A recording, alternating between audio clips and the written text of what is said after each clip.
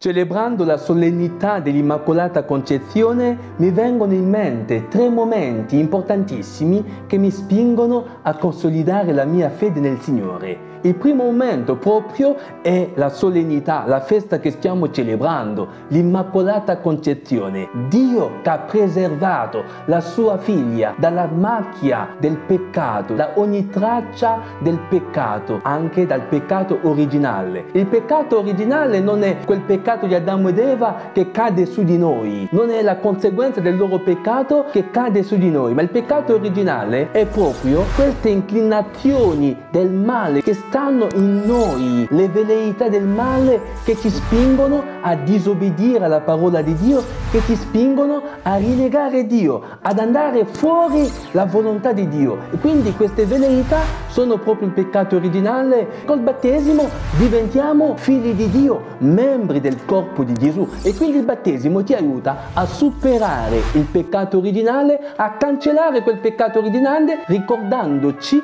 che siamo figli di Dio, che dobbiamo seguire le orme di Gesù, che dobbiamo fare e compiere la volontà di Dio. E quindi l'Immacolata Concezione è questa grazia che Maria ha ricevuto da Dio, la grazia che l'ha preservata dalla macchia del peccato, da ogni traccia del peccato, anche dal peccato originale, perché Maria è questo tabernacolo vivente che accoglie la parola di Dio e lei partorisce Dio, diventa madre di Dio. È una grazia importantissima, come lo dice proprio l'angelo quando viene a salutare Maria, piena di grazia. Piena di grazia significa in lei non c'è nessun spazio di peccato, non c'è una traccia del peccato, perché Dio non poteva nascere in un luogo già macchiato dal peccato. Dio non poteva nascere in una persona, in un grembo macchiato del peccato. E quindi Dio ha preservato Maria da quella traccia del peccato sin dall'inizio, già dalla sua nascita. Quindi lei è concepita senza peccato. Il secondo momento è proprio questa festa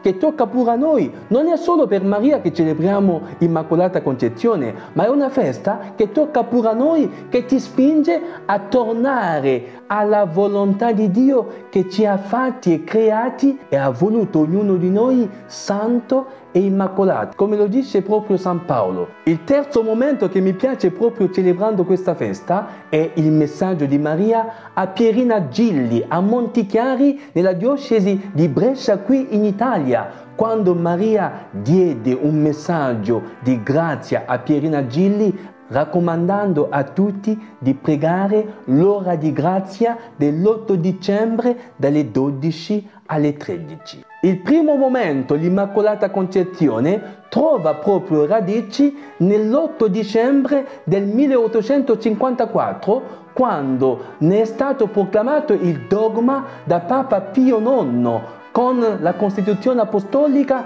Ineffabilis Deus, l'Immacolata Concezione non si riferisce però al concepimento di Gesù, ma a quello di Maria concepita senza peccato originale e preservata da ogni macchia nel grembo di Sant'Anna, sua madre. Il peccato originale non è da confondere, come l'ho detto, con il peccato di Adamo ed Eva. Non si tratta delle conseguenze del loro peccato che cadono su di noi, ma delle inclinazioni verso il male, delle veleità alla disobbedienza che si nascondono in ognuno di noi e tirate fuori con il peccato. Dio non poteva incarnarsi in un luogo già macchiato. Dio ha preservato Maria dal peccato originale, da ogni macchia del peccato sin dall'inizio, già alla sua concezione, Maria è stata preservata dal peccato originale. Ricordiamoci che a Lourdes la Madonna apparve alla piccola Bernadette Subiru nel 1858, quattro anni dopo la proclamazione del dogma, confermando che io sono l'Immacolata Concezione. Ma un anno prima, nel 1857, in piazza di Spagna a Roma, fu inaugurato il monumento dell'Immacolata e quindi la festa dell'Immacolata Concezione ci ricorda proprio questa grazia che Maria ha ricevuto da Dio per essere il tabernacolo vivente ma preservato da tutti i peccati e quindi Dio ha voluto nascere in un luogo puro e Maria ne ha ricevuto la grazia. Ma questa festa non tocca solo a Maria, questa festa tocca pure a noi, ad ognuno di noi perché Dio ci ha creati sin dall'inizio e ha destinato ognuno di noi alla santità, alla purezza originale e San Paolo lo esprime meravigliosamente con le parole splendide in Cristo. Il Padre ci ha scelti prima della creazione del mondo per essere santi e immacolati a Lui nella carità, predestinandoci ad essere per Lui figli adottivi mediante Gesù Cristo, secondo il disegno d'amore della Sua volontà all'ode dello splendore della Sua grazia, di cui ci ha giustificati, di cui ci ha gratificati nel Figlio amato. Questo Figlio amatissimo Gesù Cristo si è incarnato in Maria diventata tabernacolo vivo del Verbo di Dio. Colma di grazia, lei è la dimora preparata sin dall'inizio per accogliere Dio con noi. In lei siamo diventati figli adottivi di Dio perché nuova Eva, appunto che dalla croce Gesù fece di Maria nostra madre, di cui celebriamo oggi l'Immacolata Concezione quando Gesù disse a Giovanni, ecco tua madre, madre, ecco tuo figlio.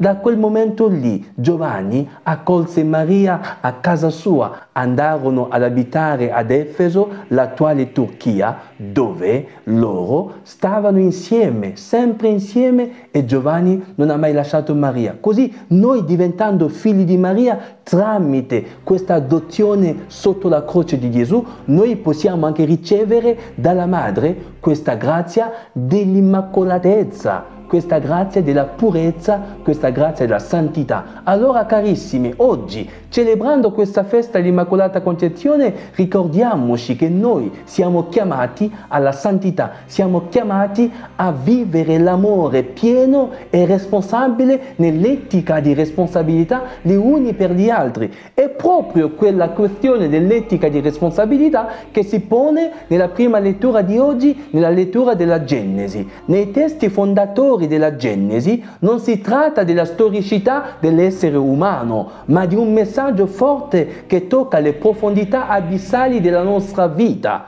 La narrazione odierna ci fa conoscere che l'uomo non è più ciò che era all'origine abbiamo perso la nudità originale, cioè l'innocenza della fede, l'immacolatezza della carità, la fiducia filiale. E l'uomo nella Genesi, dopo aver commesso quel peccato, si nasconde e Dio va sempre a cercarlo. Dove sei? Ma dove ti nascondi? E l'uomo non si vuole far vedere perché si vergogna di se stesso. La donna pure si vergogna. Allora Dio chiede, ma cosa avete fatto? Perché avete mangiato il frutto vietato. Perché avete fatto questo peccato? Si rivolge all'uomo, Adamo, perché l'hai fatto? Adamo si rivolge alla donna, la donna a me affidata mi ha fatto scivolare nel peccato. E Dio si rivolge alla donna, ma perché hai fatto così? La donna si rivolge al serpente, è il serpente che mi ha ingannato. Ciò succede pure nella nostra vita. Rifiutiamo di prenderci la responsabilità di ciò che accade. Vogliamo buttare tutto sugli altri, vogliamo dare la colpa agli altri, l'inferno l'inferno sempre gli altri, come lo dice Jean-Paul Sartre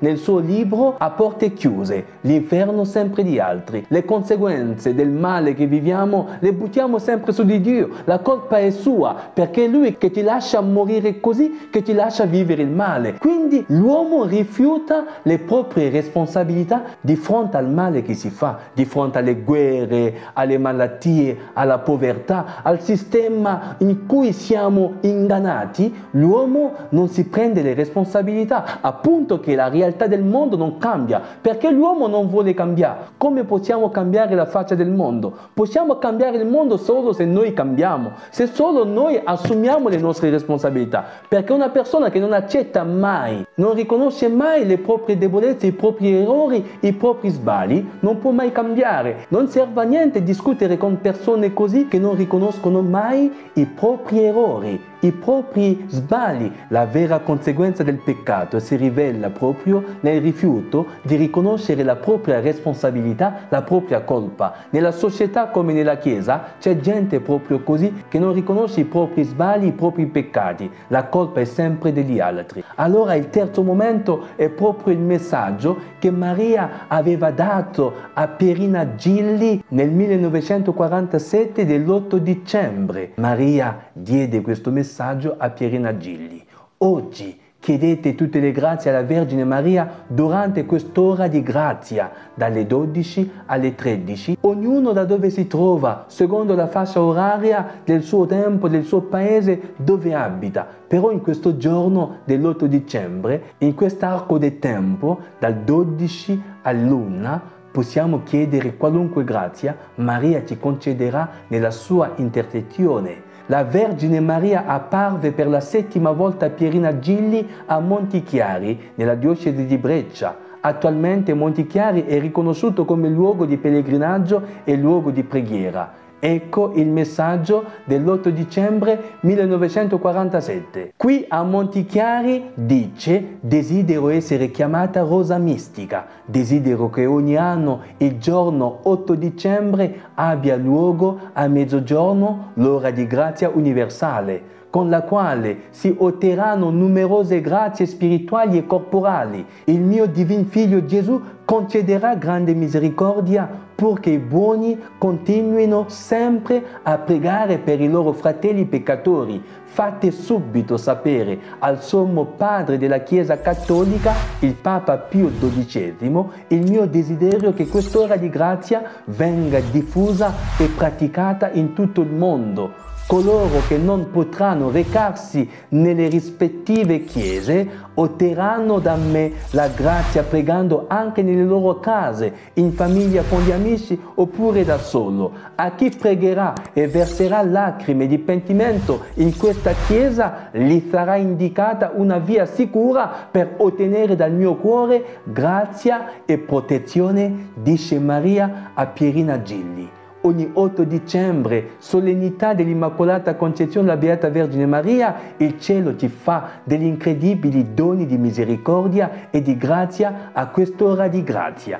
Che Dio vi benedica. Pregate per me come io prego per voi. Prendete una candela, accendetela in chiesa o a casa, da solo con gli amici, fate la vostra preghiera. La fiamma di questa candela continuerà a bruciare il cuore di Dio e il cero di questa candela che si scioglie sarà la tua intenzione che si scioglie sotto gli occhi di Dio, sotto la protezione del Signore che ti concederà grazia su grazia. Pregate per me come io prego per voi. Che Dio vi benedica carissimi. Don Staffen Yanin Kodia, servo inutile.